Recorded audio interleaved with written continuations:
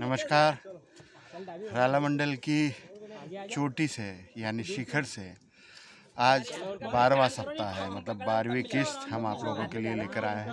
एक नए एक्सपीरियंस के साथ, नए लोगों के साथ और नई टीम के साथ मैं आपको दिखाना चाहूँगा कि आज कई लोग हैं जो यहाँ पर। देखिए, बड़ी शिद्दत से एक्सरसाइज करते हुए नज़र आ रहे हैं।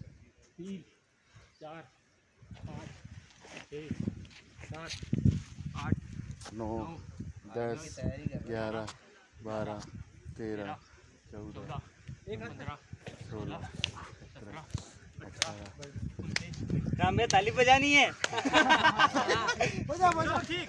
तो फिर गा दो नहीं बजा अरे यार गा देनी चाहिए देखिए ज़बरदस्त तैयारियाँ चल रही हैं इनकी एक्सरसाइज लगातार चल रही है। आप लोगों का कहाँ से आया ये group icon fitness tricon fitness group है। कितने लोग हैं आप लोग? सर चालीस मेंबर है। चालीस मेंबर्स के साथ में यहाँ मौजूद है और आप देख रहे हैं कि लगातार यहाँ पर जो एक्सरसाइज इनकी ज़बरदस्त नज़र आ रही थी। सर डेली होती है।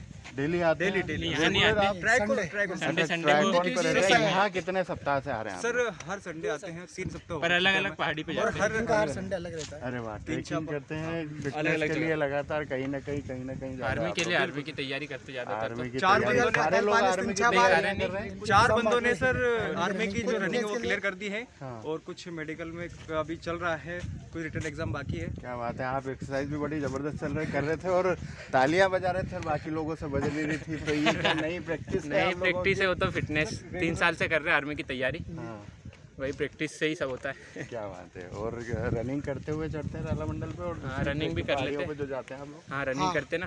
हाँ। और क्या क्या रहता है आप लोगों की एक्सरसाइज में और ट्रेनिंग के रूप में यदि उधर तो हमारे एक सर है भरत पटेल सर। दत्तोदा के वो आर्मी से रिटायर है। तो अब बच्चों को तैयारी करवाते हैं आर्मी की। हाँ। फ्री में सेवा करते हैं? ट्राइकॉन ही? हैं हाँ। हम एडवेंचर के लिए। कहीं ना कहीं ट्रैकिंग के लिए निकल जाते हैं और वहाँ का आनंद लेना ही लेना और एक्सरसाइज की एक्सरसाइज हो जाती है। और हम लोग राला मंडल पे पिछले 12 सप्ताह से लगातार आ रहे हैं और हर बार हम लोगों का एक नया एक्सपीरियंस नए लोगों से मुलाकात होती है। आज ट्राइकॉन सिटी की इस पूरी टीम के साथ हमारी मुलाकात हुई है और इन्होंने ज़बरदस्त एक्सरसाइज अभी की हम लोगों ने देखा भी और आप लोगों को दिखाया भी हमने।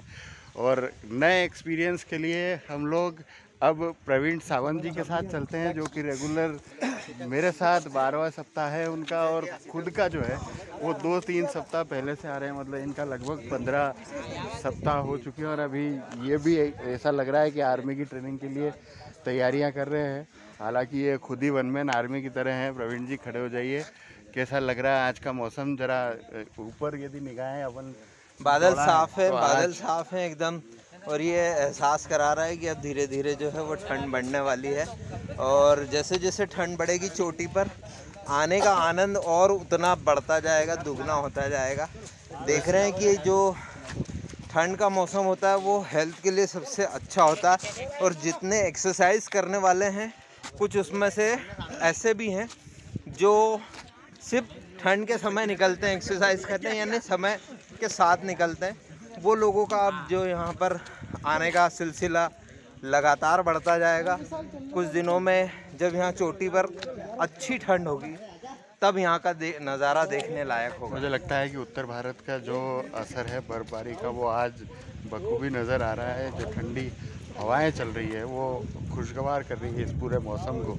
बादलों की छटा अलग ही निराली आज नज़र आ रही है खुला आसमान है और देखने में बहुत खूबसूरत लग रहा है। और जो हल्की ठंड है वो इसे गुलाबी ठंड कहा जा सकता है और ये गुलाबी ठंड आपको प्रेरित करती है कि आप हर हफ़्ते राला मंडल की इस चोटी पर आएँ और ये जो मौसम है उसका आनंद सात सौ हम लोग समुद्र जल से सात की ऊंचाई पर हैं और आज हम लोग मतलब मेरे हिसाब से। प्रवीण जी का मोबाइल गया है तो दौड़ के मोबाइल की तरफ़ दौड़े हैं। आज वैसे देखा जाए तो आम दिनों की संख्या में आम दिनों के तुलना में यदि बात की जाए, जैसे हर हफ़्ते हम लोग आते हैं तो उसकी तुलना में लोगों की संख्या ज़रूर थोड़ी कम है, परिवार की संख्या थोड़ी कम है। लेकिन यहाँ आर्मी का जो एक दल आया हुआ है, जो आर्मी की ट्रेनिंग कर रहे हैं, वो वो लोग बड़ी संख्या में है और करीब 20 लोगों की ये पूरी टीम है जो एक्सरसाइज कर रही है और यहाँ पर एक रौनक बनाए हुए हैं, जिससे उनकी ट्रेनिंग देखते ही बनती है पूरा ग्रुप एकजुट होके एक जैसी एक्सरसाइज को अंजाम दे रहे हैं, जो बहुत ही अद्भुत। ये देखिए पूरा घना जंगल। हम लोग पीछे की तरफ़ है राला मंडल के, जो शायद मैं पहली बार ही आप लोगों को दिखा रहा हूँ। हालाँकि आप लोग बिल्कुल वाकिफ़ होंगे इस राला मंडल क्षेत्र से। ये पूरा इलाका जो है, ये जंगल का इलाका है। हम पीछे की तरफ़ हैं, पीछे की तरफ़ ये राला मंडल का शिकारागाह इस तरह से नज़र आता है। पानी की टंकी है आने जाने वाले लोगों के लिए ताकि वे बारिश में भी और पानी का भी जब थकान होती है तो पानी का स्वाद चख सकते हैं आराम से पानी पी सकते हैं। वैसे ज़्यादातर लोग यहाँ पर पानी की बोतल लेके ही ऊपर चढ़ते हैं। पानी लाना भी ज़रूरी है हेमंत क्योंकि आ, एक ढाई किलोमीटर का ट्रेंच है जो हम चढ़कर आते हैं। लगभग बीस बाईस मिनट लगते हैं और इसमें ज़्यादा एंड्योरेंस यूज़ करना पड़ता है तो वो पानी बहुत आवश्यक है, क्योंकि इस समय हड्डियों को जो सबसे ज़्यादा ज़रूरत होती है, वो पानी की होती तो इसीलिए पानी लेकर ज़रूर आए। और डॉक्टर रावत साहब से भी जब हमारी बात हो रही थी तो उन्होंने कहा कि पानी ऊपर तक लेकर चढ़ना बेहद अनिवार्य है। यदि कोई पानी लेकर नहीं चढ़ता है तो उन्होंने स्पष्ट शब्दों में यह कहा है कि ये उसकी मूर्खता कही जा सकती है। इसलिए पानी कितना इम्पोर्टेंट है आप समझ सकते हैं कि पानी की बहुत ज़रूरत भी लगती है। जब आप ऊपर तक पहुँचते हैं तो आपको इतनी प्यास लगती है कि आपके लिए बहुत आवश्यक होती है। एक्सरसाइज का दौर जारी है लगातार हर सप्ताह आज हम आपको एक नए मेहमान से मुलाकात करवाएँगे जो पिछले तीन सप्ताह से हमें नज़र आ रहे हैं और अपने फिटनेस को लेके बिल्कुल जागरूक है। और फ़िलहाल मेरे जो मुझे जानकारी मिली है उसमें ये है कि आपने अभी कुछ कुछ ही सप्ताह या कुछ ही महीनों पहले बाईपास किया। तो फिटनेस को लेके आप बहुत संजीदा भी नज़र आते हैं। किस तरह का एक अनुभव है पिछले तीन सप्ताह की बात करें? बहुत बढ़िया। मैं ये जो प्लेस है बहुत इंजॉय करता हूँ।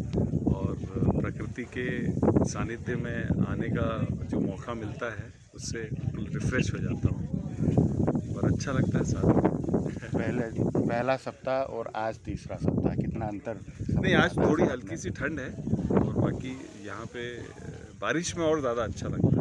उत्तर भारत का असर नज़र आ रहा है हाँ, हाँ, ठंडी बिल्कुल, हवा बिल्कुल है कहीं ना कहीं एक गुलाबी ठंड कही जा सकती है इसे। बिल्कुल अगले सप्ताह फिर हमारी मुलाकात मंडल के सात सौ बयासी मीटर की ऊंचाई होगी। थैंक्स यही राला मंडल का एक अलग अनुभव है कि यहाँ हर सप्ताह कुछ नए लोग हमसे मुलाकात करते हैं, कुछ नए लोगों से हम आपकी मुलाकात करवाते हैं। एक नया एक्सपीरियंस होता है और हर सप्ताह एक अलग तरह का राला मंडल यहाँ पर नज़र आता है, जो देखते ही बनता है। और मुझे लगता है कि वो हर सप्ताह आपको प्रेरित करता है कि आप राला मंडल आइए। इसलिए बार बार ये कहा जाता था कि जो सो रहे हैं, वो बहुत कुछ खो रहे हैं। प्रवीण सावंत के साथ राला मंडल की चोटी से मैं हेमंत शर्मा। तीसरी सॉरी तेरहवीं किस्त के साथ एक बार फिर आपके साथ हाजिर होंगे। तब तक के लिए हमें इजाज़त दीजिए। नमस्कार।